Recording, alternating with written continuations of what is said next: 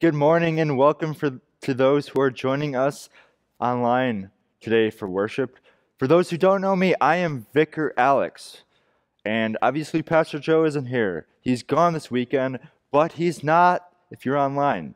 But you have me for the sermon. So today in my sermon, I'm going to take a look at our Deuteronomy text and see how it connects to our Luke text today, where Jesus says, If you're going to be my disciple, you must hate father, mother, wife, and child. And see, I'm hopefully going to kind of shed some light on that and what that all means in light of the gospel. So, for those online, don't forget to register your online worship with us today with this QR code that's magically going to appear right above my hands.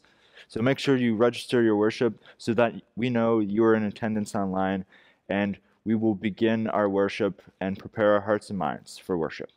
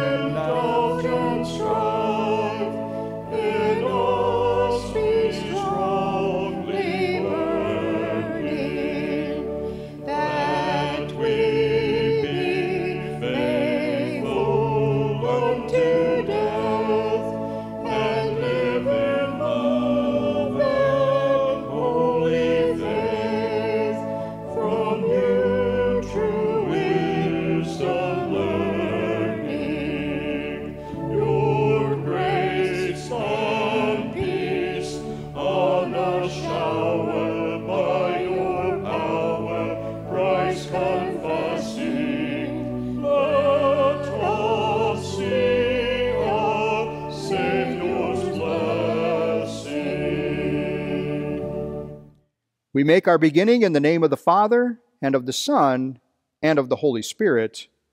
Amen. We read responsibly Psalm 1. Blessed is the man who walks not in the counsel of the wicked, nor stands in the way of sinners, nor sits in the seat of scoffers. But his delight is in the law of the Lord, and on his law he meditates day and night. He is like a tree planted by streams of water that yields its fruit in its season, and its leaf does not wither. In all that he does, he prospers. The wicked are not so, but are like chaff that the wind drives away. Therefore, the wicked will not stand in the judgment, nor sinners in the congregation of the righteous. For the Lord knows the way of the righteous, but the way of the wicked will perish. We continue with our confession and forgiveness. If we say we have no sin, we deceive ourselves, and the truth is not in us. But if we confess our sins, God, who is faithful and just, will forgive our sins and cleanse us from all unrighteousness.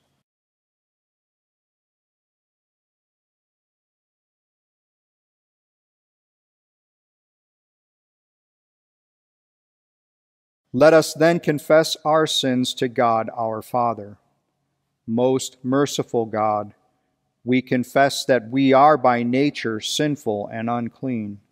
We have sinned against you in thought, word, and deed, by what we have done and by what we have left undone. We have not loved you with our whole heart. We have not loved our neighbors as ourselves. We justly deserve your present and eternal punishment. For the sake of your Son, Jesus Christ, have mercy on us. Forgive us, renew us, and lead us, so that we may delight in your will and walk in your ways to the glory of your holy name. Amen. And hear the good news of our loving Heavenly Father, for He indeed has had mercy upon us and has sent His Son Jesus to die for us. So, in the stead and by the command of my Savior Jesus Christ, I forgive you all your sin in the name of the Father and of the Son and of the Holy Spirit. Amen. In peace, let us pray to the Lord. Lord, have mercy. For the peace from above and for our salvation, let us pray to the Lord. Lord, have mercy. For the peace of the whole world, for the well being of the Church of God, and for the unity of all, let us pray to the Lord. Lord, have mercy. For this holy house and for all who offer here their worship and praise, let us pray to the Lord. Lord, have mercy. Help, save, comfort, and defend us, gracious Lord. Amen.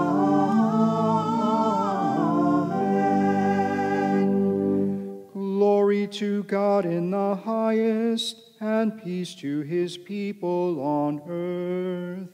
Lord God, heavenly King, almighty God and Father, we worship you, we give you thanks, we praise you for your glory. Lord Jesus Christ, only Son of the Father, Lord God, Lamb of God, you take away the sin mercy on us. You are seated at the right hand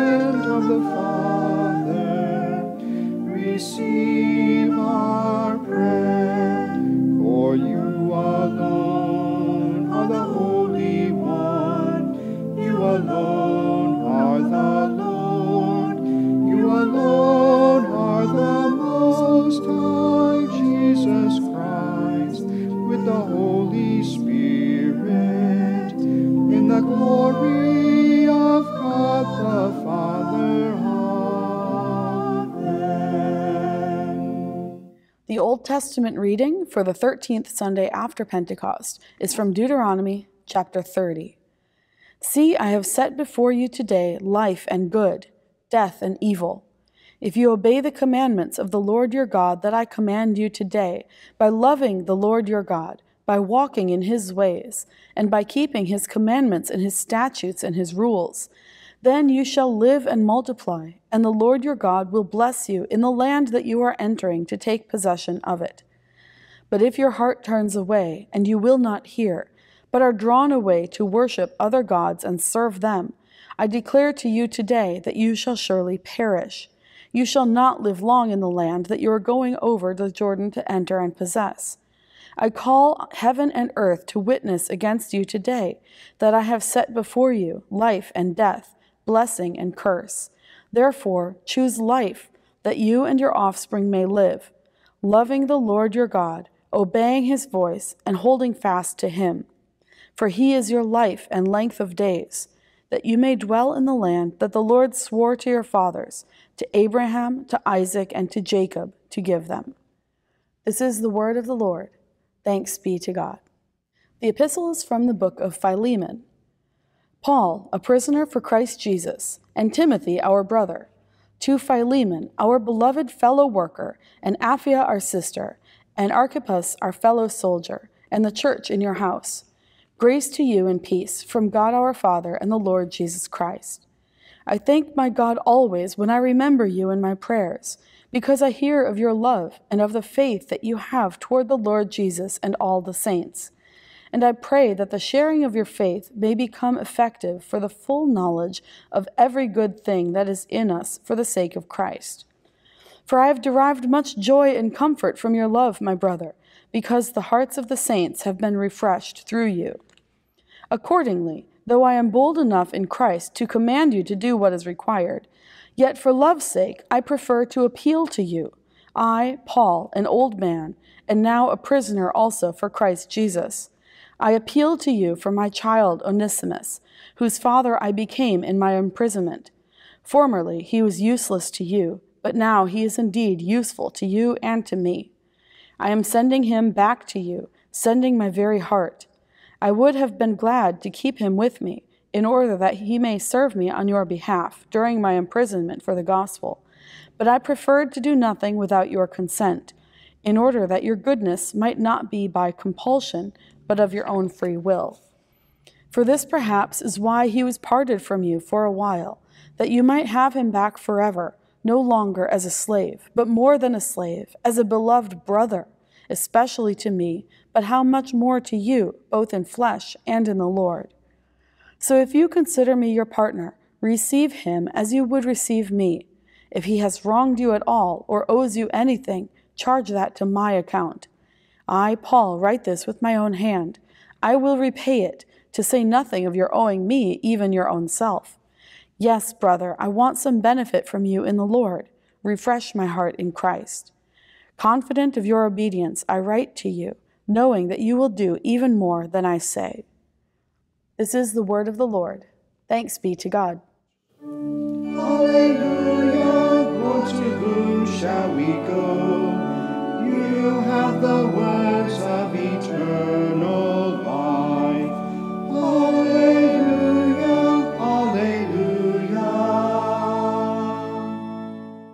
Holy Gospel according to St. Luke, the 14th chapter. Glory to you, O Lord. Now great crowds accompanied Jesus, and he turned and said to them, If anyone comes to me and does not hate his own father and mother, and wife and children, and brothers and sisters, yes, and even his own life, he cannot be my disciple.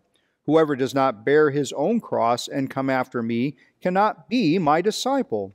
For which of you, desiring to build a tower, does not first sit down and count the costs, whether he has enough to complete it? Otherwise, when he has laid a foundation and is not able to finish, all who see it begin to mock him, saying, This man began to build and was not able to finish.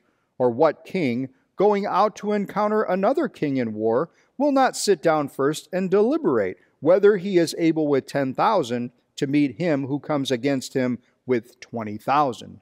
And if not, while the other is yet a great way off, he sends a delegation to ask for terms of peace.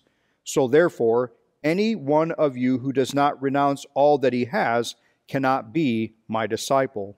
Salt is good, but if salt has lost its taste, how shall its saltiness be restored? It is of no use either for the soil or for the manure pile. It is thrown away. He who has ears to hear, let him hear. This is the gospel of our Lord. Praise Good morning, kids. Vicar Alex here. Now, today I want to talk to you about God providing his people with manna and quail in the desert. Now, do you have a favorite food?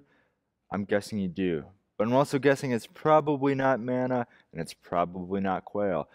But nonetheless, let's jump into our, our lesson today, right? So Moses led the people out of Egypt, as we've talked about, and he led them across the Red Sea. And now that they're in the desert, right, there's not a whole lot to drink and a whole lot to eat in the desert, but God still provided for his people. He provided water for them, and he also provided food for them, right? Manna, which is bread from heaven, and quail. And he provided everyone with enough food so that they were full every day, right?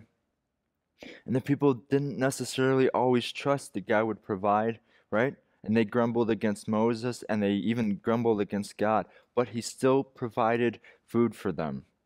You see, does God provide food for us? And He does, right?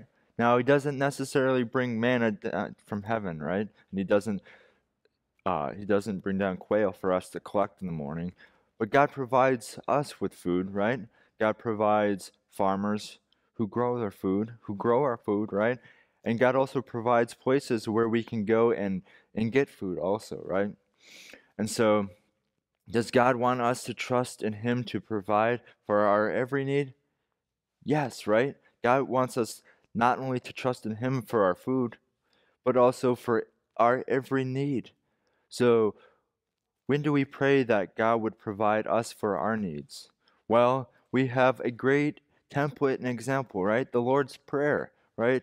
In the Lord's Prayer, we pray that God would provide for our daily bread, right? And our daily bread is not only the bread we might eat, but also everything that we need in this life, right? For both our body and our soul, right? God provides for our, bodies and our souls, and gives us nourishment for body and soul.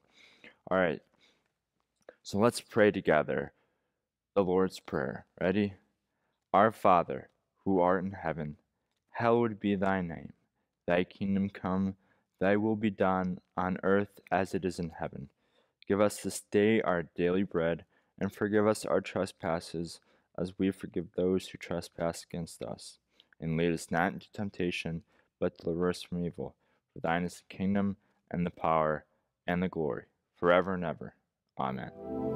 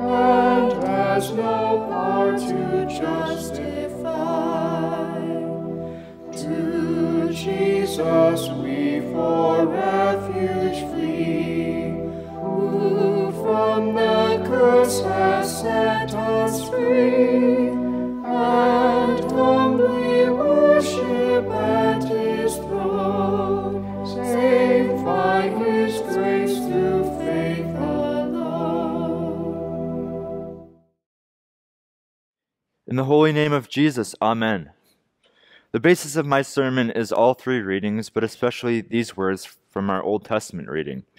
I call heaven and earth to witness against you today that I have set before you life and death, blessing and curse. Therefore, choose life that you and your children may live. See, Our gospel reading today is one of those readings you find in the lectionary that can be a bit confusing and hard to understand, even for those who know their Bible real well and study God's Word. So that's why I've decided to focus on the Old Testament, right? It's a self writing sermon. I set before you life and death. Choose life, right? There's law, and then there's gospel. It's a good Lutheran sermon, right? And you confirmands can thank me for those easy sermon notes. Now, actually, what I would say is that in light of what the Old Testament is saying, what Jesus says in our gospel makes actually a whole lot more sense. See, I'll state the obvious of what some of you might be thinking. Doesn't there seem to be a large contradiction in what Jesus is saying, right? Doesn't the fourth commandment teach that we should honor and love and honor our parents? So why would Jesus say that we must hate our father and mother if we are to be his disciple? See, if we look at that word for hate in the Greek that Luke uses, you can't use it any other way, right? We can't you can't even argue, well, you know, in the Greek, Jesus actually means this in this context. No, right? Jesus means hate when he says hate. And to make it even more confusing, Jesus is saying we have to hate ourselves. You see, Jesus is giving no room for excuses in our gospel reading today. We have to hate ourselves. Think about that for a moment. Now, I can't speak to anyone in our congregation, neither can I speak to those who are watching online about whether or not you hate yourself, but I certainly can speak for myself. See, if I'm being honest, if I had to choose one Bible verse that describes me as a Christian and why I should hate myself, it would be this one. Here Paul says, For I do not do the good I want but the evil I do not want is what I keep on doing. Having looked at that Romans passage, right, I hate the fact that I can point to situations in my life where I've done, said and done the wrong things despite knowing what the right thing to do was, right? Despite knowing what God's word would have me to do, right? And the biggest enemy I often face is my own self my own sinful wants and desires. Because if I'm going to point a finger at an enemy that is going to lead to my own destruction, the surest place I can point a finger is at myself.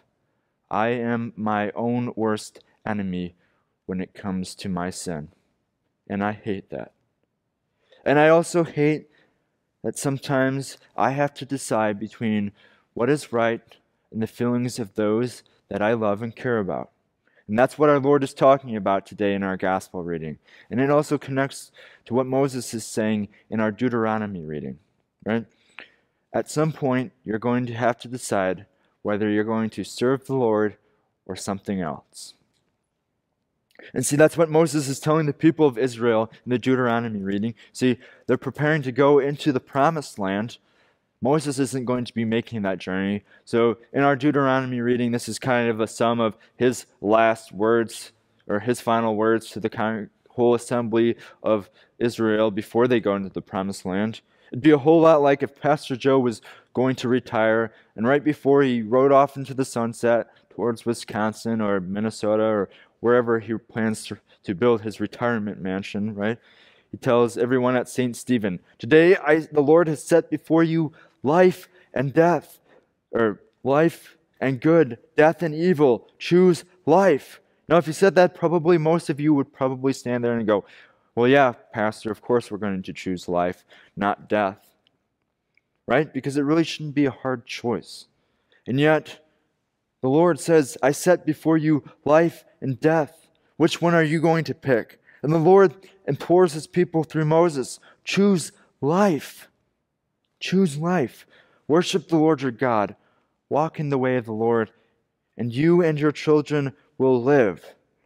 It shouldn't be a hard decision, right? Logically.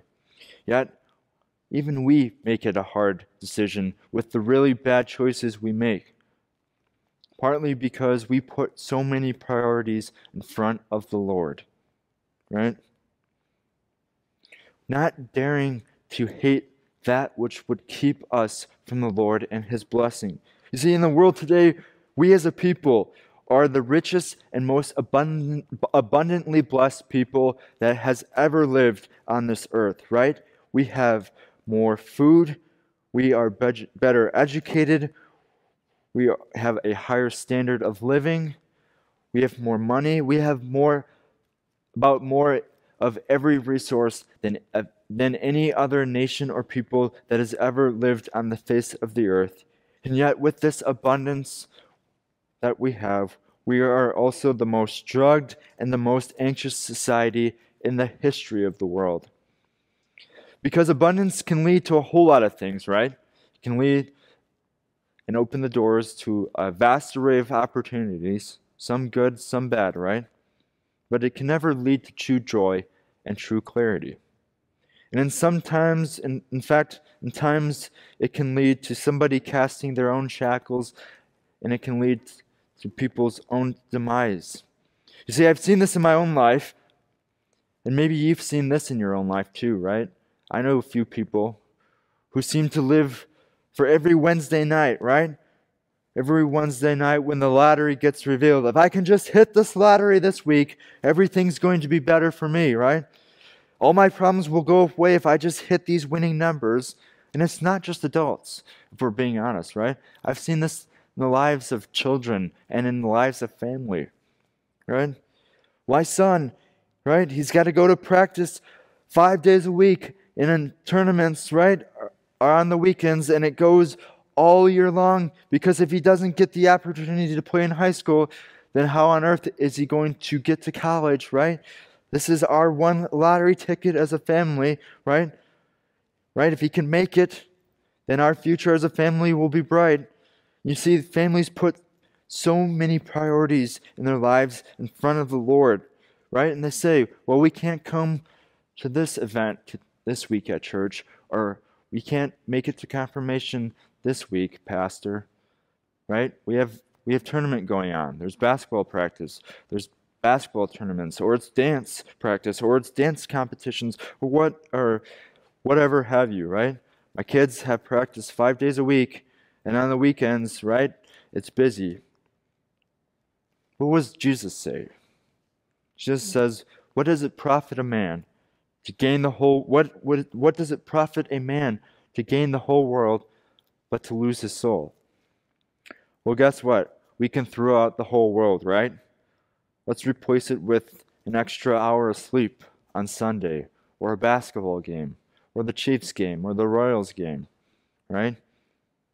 Now, I'm not saying, don't get me wrong, I'm not saying that sports or an extracurricular activities are a bad thing for our children. You know, I'll be the first one to say they're a great thing, right? They're needed. But as parents, right, what are we teaching our children when we put priorities in front of the Lord? See, we're teaching them that the Lord is never going to be a priority, right? Everything else can come first because in the end, right, the Lord will be there when when you're ready.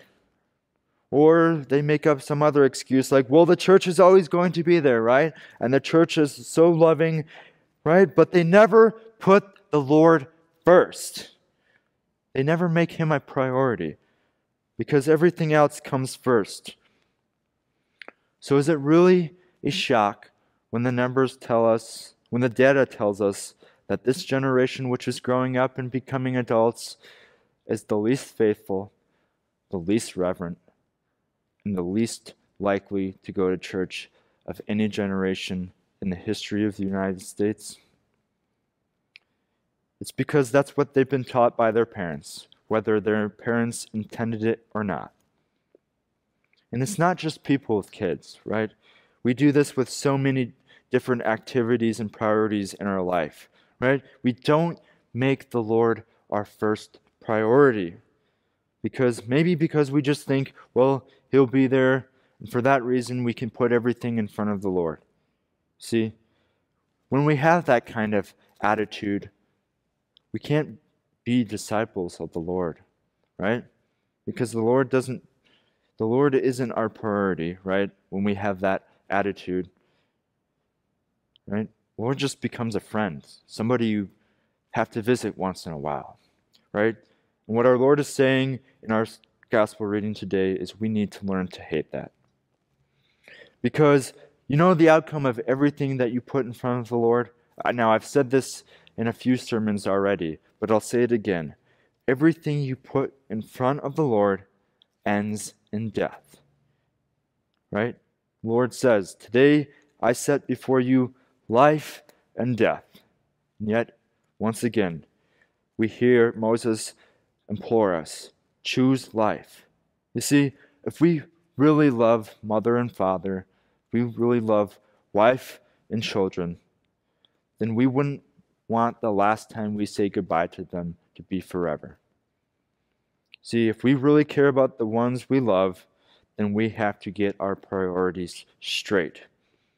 We should hate everything, everything that would drag them away from the Lord and His promises, right? And that's why the words that, that Moses said in our Deuteronomy reading are still relevant even 3,500 years after Moses spoke them. You see, you've been given a gift, a wonderful gift, a gift that not only trans- transforms you, but it shapes your very identity, right? The gospel, it shapes your very identity, and we should do everything in our power to flee from those things that would tear us away from that gift. The book of Philemon is a great example of how the gospel is such a wonderful gift and how the gospel transforms us and changes our, our, our uh, entire identity. Excuse me. And in fact, today, for those online, you read pretty much the entire book of Philemon today. See, we read 21 out of the 25 verses that make up that entire book. And I, will be honest, I love Philemon. And I wish we got to hear it in church more than just once every three years. You see, because in the book of Philemon, Philemon is a slave, was a slave owner, and he had a rotten, no good slave named Onesimus. You see, you want to know how bad a slave Onesimus was? Onesimus literally translates to useless. I mean, how bad of a slave do you have to be to be called give or rather to be given the name useless, right? And Onesimus runs away from Philemon, probably got drunk or stole something. And anyway, he ends up in jail with St. Paul. And St. Paul in jail preaches the gospel to Onesimus. And by a miracle of the Holy Spirit, Onesimus believes him. And so happens and it so happens that St. Paul is friends with Philemon, the one who Onesimus ran away from. Now, probably St. Paul ran into Philemon, or rather, ran into him sometime during one of his missionary journeys. And Philemon, probably heard Paul preach and helped Paul start a church in his home. Because back then, you wouldn't meet in a building, right, for church. The church back in the in that day met in people's homes. And so Philemon was a wealthy man, we know this, and he had he had slaves, but he also had a large home that people could gather in. And so most likely Paul started a church in Philemon's home.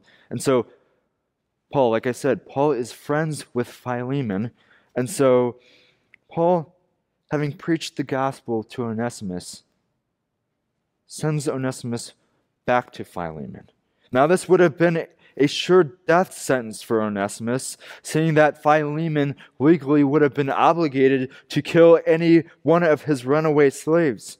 But Paul sends Onesimus back anyway. And he writes, and he sends Onesimus back with this letter we wrote, we read today in church, right? He writes saying, The one that was once useless to you has become my very heart. You see, the gospel not only transforms transformed who Onesimus was, right? It changed his very identity. Right? It made him something wonderful. Right? It gave him a new identity. And so let's take a look at verses 15 and 16 right here. This really emphasizes Onesimus' new identity in the gospel.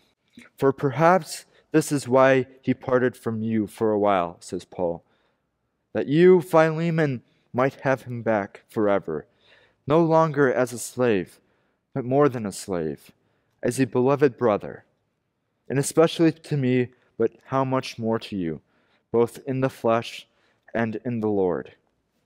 See, the gospel, the gospel, it transforms everything. It gives life where there is no life. It gives meaning where there is no meaning, hope where there is no hope. It brings freedom from sin, death, and the power of the devil. Freedom from anxieties that our culture has no solution for other than to drug out of existence. The gospel, it gives Christ and it gives life. Paul sends Onesimus back to Philemon and tells him, I want you to love him and enjoy him as I have. Why? Because everything has changed. Hate that was, that was once there, but love him now as I love him, because now you have him forever in Christ. The gospel, it changes everything, it transforms everything, not only in the life of Onesimus, but in our lives too and it gives us new identity. We need to hate everything that would keep it from transforming our lives and those we love. You see, when we start embracing the death of the world rather than living in the light and life of Christ, we miss the opportunity to embrace the depth of the love of Jesus. That gift of life, salvation, and forgiveness of sins because that gift cannot be measured against anything that the world has to offer to you. You see, we have a gift. You have a gift that transforms you and changes you. In Jesus' name, Amen. Now may the peace which surpasses all understanding guard and keep your hearts and minds in the one true faith until life everlasting. Amen. We continue our worship by returning to our Lord a portion of the gifts He has blessed us with and entrusted to us for His kingdom work. We have several giving options for you to utilize. As St. Paul reminds us in 2 Corinthians chapter 9, arrange in advance for the gift you have promised, so that it may be ready as a willing gift, not as an extraction. The point is this Whoever sows sparingly will also reap sparingly, and whoever sows bountifully will also reap bountifully. Each one must give as he has made up his mind, not reluctantly or under compulsion, for God loves a cheerful giver. And God is able to make all grace abound to you, so that having all contentment in all things at all times, you may abound in every good work. He who supplies seed to the sower and bread for food will supply and multiply your seed for sowing and increase the harvest of your righteousness. This week's Team Jesus announcements. Today, September 4th, is the last day to register for this year's women's retreat. We hope all of our women can join us for this year's retreat, October 1st and 2nd. Also, our Small Saints preschool program is looking for some members to help with their annual back to school welcome picnic this Thursday, September 8th at 6 p.m. Please sign up to help by going to the link in the Team Jesus News or by calling the church office. Next, Terry Gertz from the LCMS Foundation will be here for a meet and greet during services on Sunday, September 11th. Terry Gertz works with individuals in our congregation who want to transfer the blessings God has given them to their family and the ministries they love. Terry's services are provided at no cost to congregational members. Next, Vicar Alex is starting up a men's group here at St. Stephen. The goal of this group is to provide the men of the congregation the opportunity to fellowship in order to grow in friendship with one another, participate in service opportunities, and to encourage each other in Christian faith and life. The men's group will meet every fourth Saturday of the month, excluding December. The first meeting will be September 24th at 6 p.m. in the Fellowship Hall. So, men of the congregation, mark your calendars and join us. Finally, our annual Community Work Day is just two weeks away on Sunday, September 18th. If you've already volunteered to help build beds, a waiver to use the tools provided by Sleep in Heavenly Peace needs to be completed prior to the workday by each adult, and for minors, that can be completed by their parents. To do so, check out the QR code in the Team Jesus News. That's also where you can find more information about everything that's happening here at St. Stephen. At this time, we make confession of our Christian faith to the words of the Apostles' Creed. I believe in God the Father Almighty, maker of heaven and earth, and in Jesus Christ, his only Son, our Lord, who was conceived by the Holy Spirit, born of the Virgin Mary, suffered under Pontius Pilate, was crucified, died, and was buried. He descended into hell. The third day he rose again from the dead. He ascended into heaven and sits at the right hand of God the Father Almighty. From thence he will come to judge the living and the dead. I believe in the Holy Spirit, the holy Christian Church, the communion of saints, the forgiveness of sins, the resurrection of the body, and the life everlasting. Amen.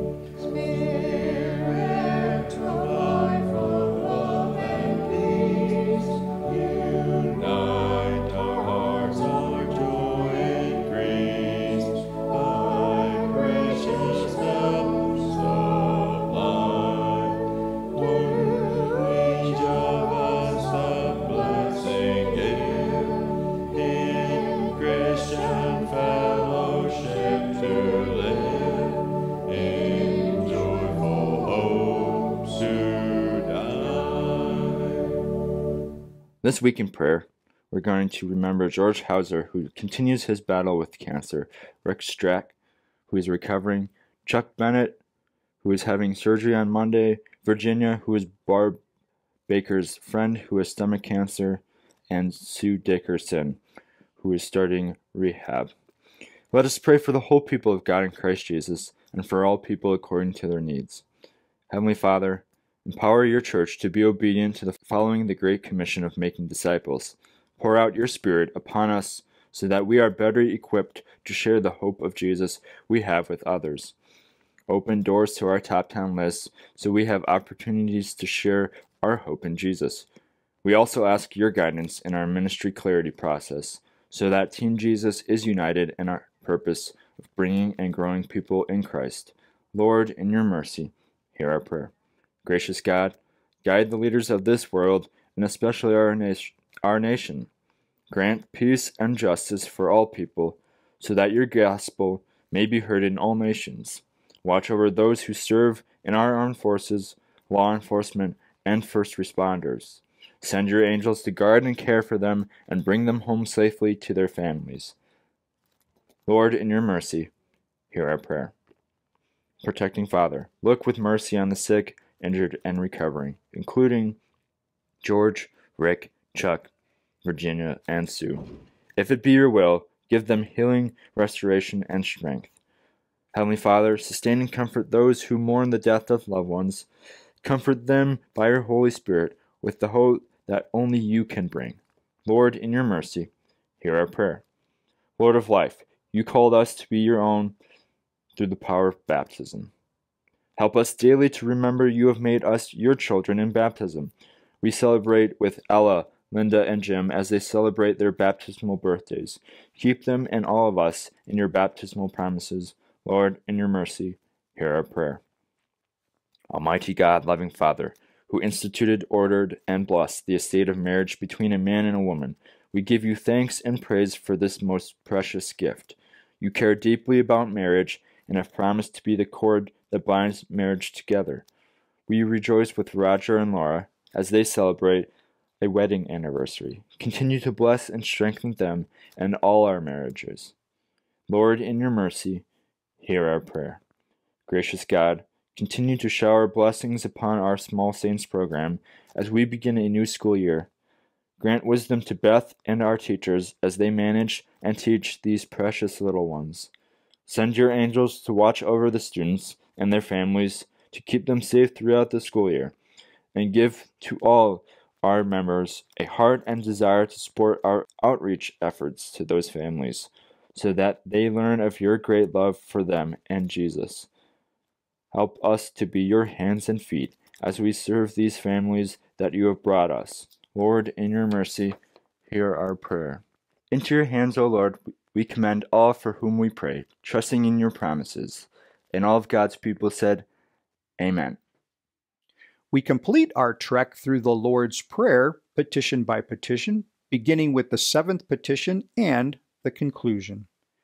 So, what is the seventh petition? But deliver us from evil. What does this mean?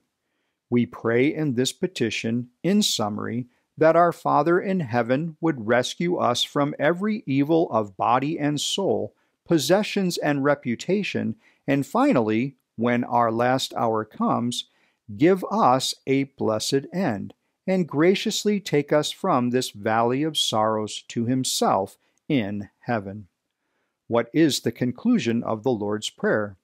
For thine is the kingdom, and the power, and the glory forever and ever. Amen. What does this mean?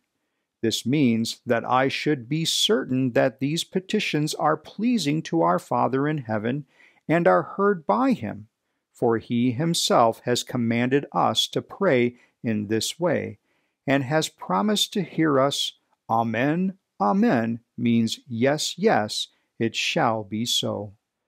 Now receive the benediction of our Lord, the Almighty and gracious Lord, the Father, the Son, and the Holy Spirit, bless and preserve us. Amen.